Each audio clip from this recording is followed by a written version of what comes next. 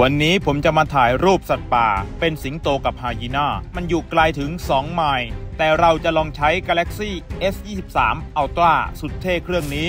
ซูมเข้าไปดู โอ้ นั่นไง คุณเห็นสิงโตไหม และไม่ไกลกันนั่นคือไฮยีน่า โอ้ไม่ มันกำลังจะล่ากัน ผมจะถ่ายรูปสิงโตล่าไฮยีน่าด้วยการซูม 100x และนี่คือความแตกต่างของการซูม คูณ 10 และคูณร้อยและผมมีทริคที่อยากจะแนะนำทุกคน นั่นก็คือโหมด Portrait Photo คูณ 3 โหมดนี้ถนัดถ่ายสัตว์ ทั้งชัดและสวย